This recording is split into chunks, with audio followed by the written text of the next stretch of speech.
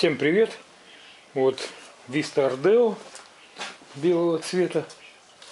Значит, пригнали мне ее для того, чтобы поменять термостат. Вот он термостат. Так вот видно. Так, термостат. Э, температура открывания термостата. Вот здесь вот написано. Вот здесь вот вот. Вот я большим пальцем. 88 градусов Цельсия. Для чего меняю термостат? Э, значит, родной вистовский, как мне рассказал хозяин машины. Он стоит вот здесь вот под генератором. Вот в этом месте. Вот, вот, вот, вот здесь вот. Вот здесь стоит.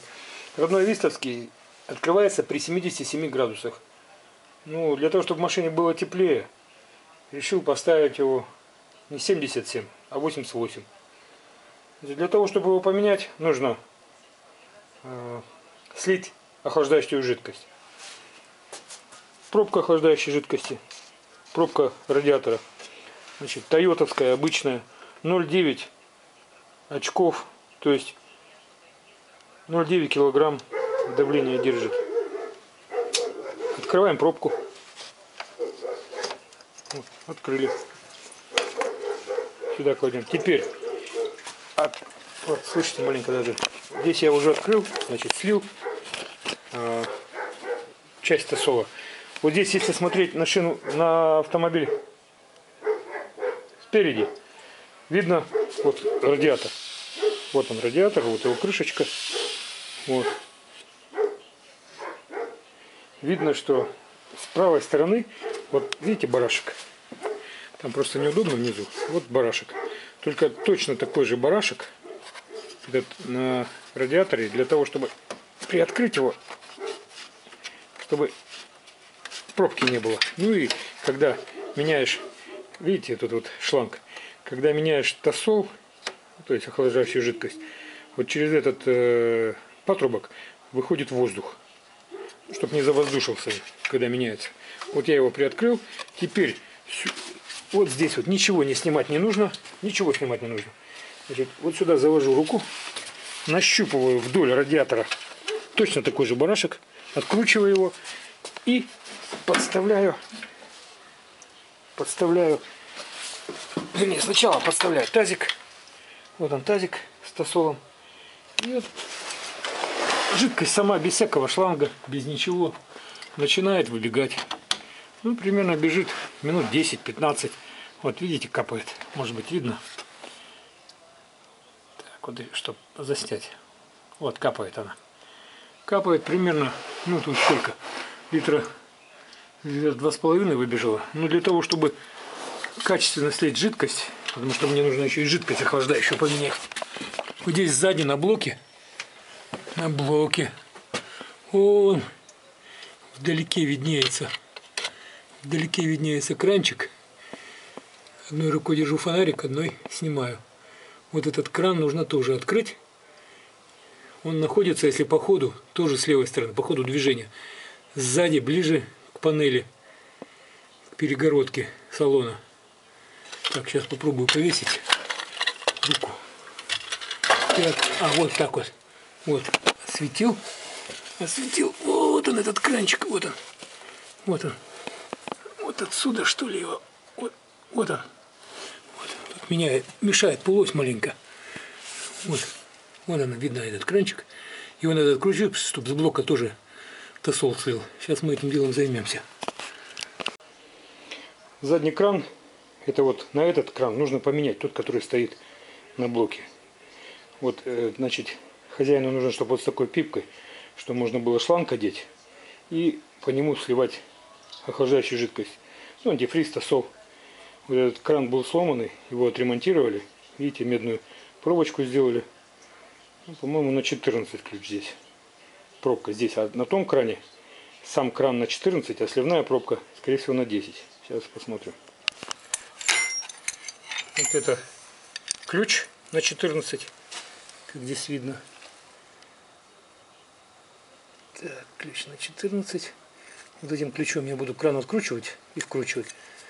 А сама заглушка, то есть пробка, на этом кране на 14 а на том, скорее всего, внизу, который сейчас стоит, на 10. Вот, да, забыл сказать, что перед началом работ обязательно нужно отключить минусовую клемму от аккумулятора, для того, чтобы никакого замыкания случайного не произошло. Ну, то есть техника безопасности. Ну вот, открутил я вот эту, вот этот кранчик. Вот он, видите, стоял вот такой кран на Toyota. Двигатель 1ZZ. 1.8 объем. Вот. вот этот, что я говорил, ключик на 10. А вот сам кран, сам, сама заглушка, пробка, она ключ на 14. Ну, стоял вот такой. Ну, человеку захотелось вот с трубочкой поставить. А может здесь и была трубочка, отвалилась когда-то. Это медная, э, как сказать, вертыш медный уже отдельно выточенный. Вот это вот, вот этот э, болтик родной, а этот выточен отдельно. Для того, чтобы вот на эту трубку одевать шланг какой-то. Ну, диаметр его, сейчас скажу. Диаметр этого патрубка 8 миллиметров. То есть обыкновенный кислородный шланг можно одеть. Значит, ну вот сейчас буду его заворачивать. Немножко обмажу э, герметиком. Там почищу, как могу, пальцем подлезу. Вот это место обмажу герметиком. Вот и заверну, чтобы трубка стояла вниз. Резьба немножко идет на конус. Так, резьба тут насколько? Резьба в большом, она на конус идет 13 и 13 и и 1 внизу в самом маленьком самом худом месте так сказать диаметр ее сейчас скажу. 12 12,5 длина резьбы резьбовой части этого крана 11 миллиметров. Вот на эту длину от начала резьбы до ее окончания конусность примерно примерно 0,6 миллиметра то есть чуть побольше чем полмиллиметра. Тосол отвернув задний кран э, в радиаторе тосола тоже нет. Вот видите пробка открыта. Там внизу я уже закрыл барашек.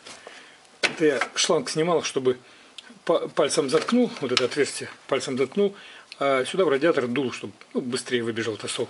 Можно этого и не делать он сам вытечет если есть время. Ну, как бы хотелось быстрее, поэтому заткнул.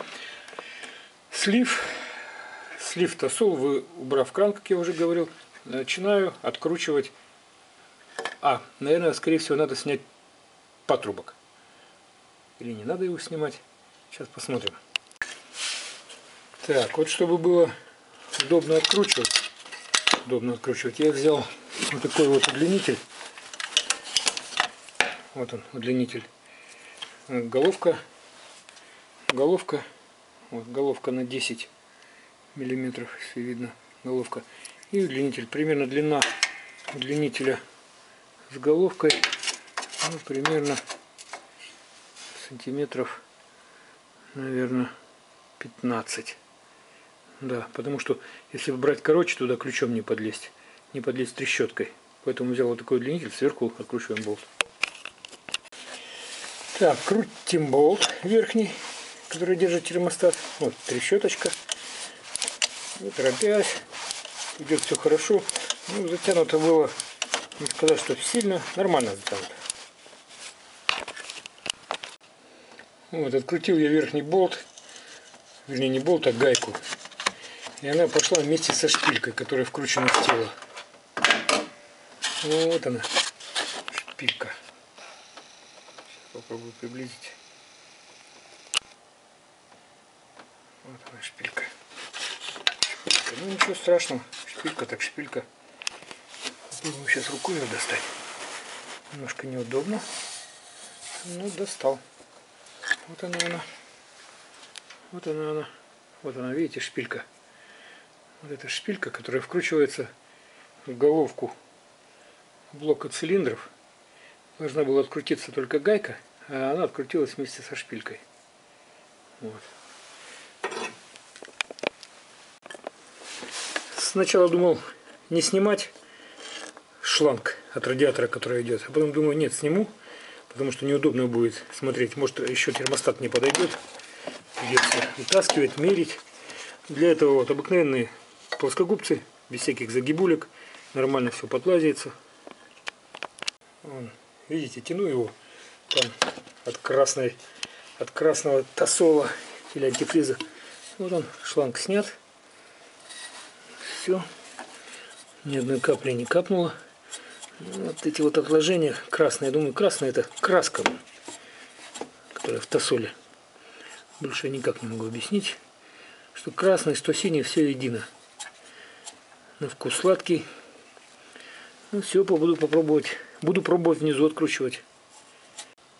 Ну вот, чтобы нижний болт, вернее, нижнюю гайку открутить термостата, тут уже не пойдет то, что я перед этим показывал.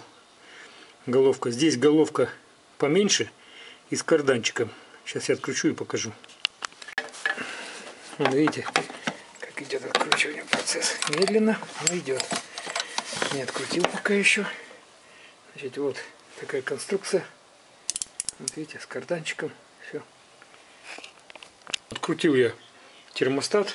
Вот он еще не вывалился. Тут как бы на резиночке держится. Вот. Вот, он.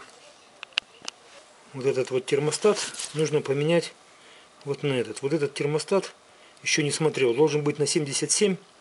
Вот этот на 88. Он даже немножко покороче. Не знаю, как, как вот этот усик, головка или как правильно назвать. Вот эта вот металлическая часть зайдет сюда. Если зайдет, то все нормально. Вот. Ну и попутно должны были быть поменены вот эти два крана. Не, один кран. Вместо вот этого, вот, который стоял, вот на с носиком таким. Сейчас будем смотреть. Значит, обязательно нужно заметить, где вот этот вот как бы небольшой стерженек стоит. Это когда, если вдруг термостат не откроется, здесь хоть чуть-чуть будет бежать. Он обязательно должен стоять в самом верху. Вот я его замечу, как он стоит. И попробую вскрыть. Оп. Вот она резинкочка. Вот она прилипшая. Вот, смотрим. Ну, абсолютно одинаковые. Именно вот эти вот вот эти два носика. То есть он сюда должен зайти без проблем. Сейчас снимаем уплотнительную резинку, одеваем на место, одеваем. Резинка прекрасно подошла. Не забывать надо вот про эту пипку, чтобы наверху была она. Ну, это вот примерно вот так. Вот так и будем устанавливать Ну, сделаем меточку. Это где вот эта пипка будет стоять. Вот так вот. Вот так вот это будет стоять напротив. Вот. Сейчас все здесь почищу, герметиком сделаю и буду ставить на место. Вот чтобы установить вот этот термостат, термостат на место, ну, предположим, вот так, вот так. Я посадочное место плоское, которое взял, ну и зачистил напильником. Вот таким образом. Аккуратненько, не спеша, до блеска снял всю гадость, потому что если вдруг поставлю и побежит, придется делать двойную работу. А двойную работу делать не хотелось бы, поэтому я все снял аккуратненько. Так по плоскости тут особой точности не требуется. Конечно, можно было унести на завод, там бы прошли шлифовальным станком, заплатил бы за, за это бешеные деньги. Но я думаю, что вот этой точности, которую я вам сейчас показываю, для термостата достаточно. Я вот сразу в нескольких направлениях эту плоскость прохожу. Вот так вот. Ну, чтобы она не заваливалась, не закруглялась.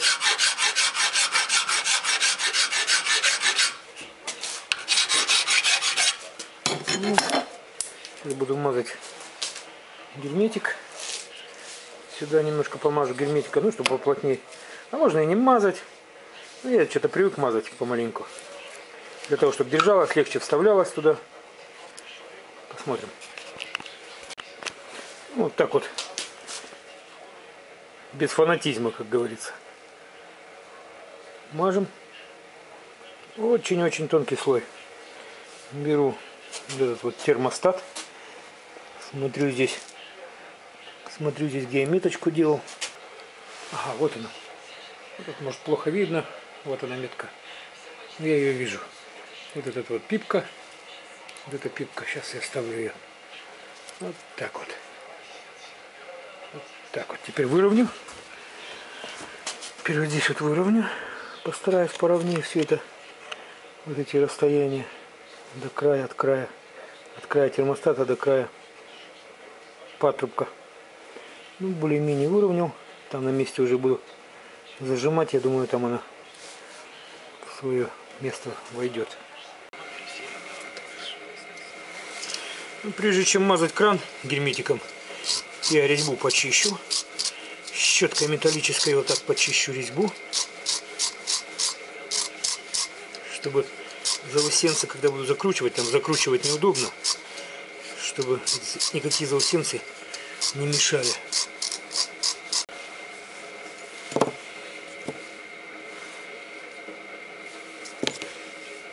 То же самое на резьбу, без фанатизма. Без фанатизма. Наносим герметик.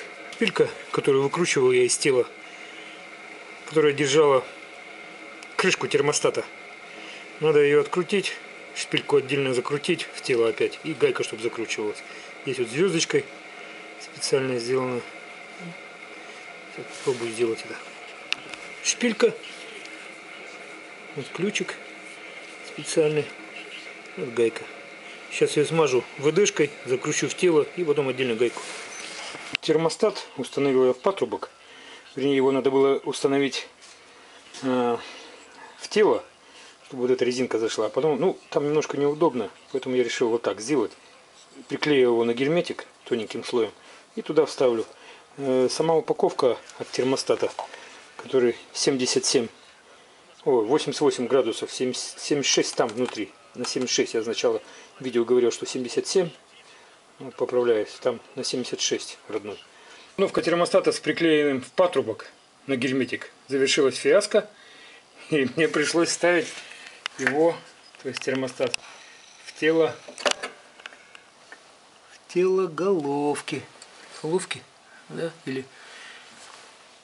Нет, не головки. В тело блока цилиндров. Конечно же, в тело блока цилиндров. Ну, вот так вот бывает. Вот он, я его установил. Видите, вот эта пипка наверху. Сейчас сверху буду ставить крышку термостата с патрубком. Так, вот крышку я установил на место. Значит, вместе с крышкой установить термостат. Это фикция. Отдельно термостат, отдельно крышку. Тогда все встанет на место. Вот при установке термостата начал закручивать гайку. Уронил ее один раз, второй раз. Ну, думаю, надо что-то делать с этим. Взял немножко герметика. Вот так вот намазал на гайку. Вот так вот. Раз. Может кому-нибудь пригодится. Раз. Ставил ее в головочку. Все. Сейчас она подсохнет. Ну, буквально 2-3 минуты. Она уже не выпадает. И можно будет устанавливать. Ну да, использовал маленько герметика. Не без этого. Значит, установил патрубок. Вон, видите, патрубок. Осталось одеть на него резиновый шланг, который идет с радиатора. Вот. одеваем. Без всяких герметиков. Я думаю, что вот эти зажимы японские, они держат без герметиков. Оденем и будем заливать антифриз. Ну вот, начинаем теперь заливать антифриз. Антифриз высшей категории и качества. Красного цвета. На вкус точно такой же, как тосол синий. Ну, не знаю, может там что-то высшее в нем. Вода святая налита. Ну, будем смотреть. Так, открываем.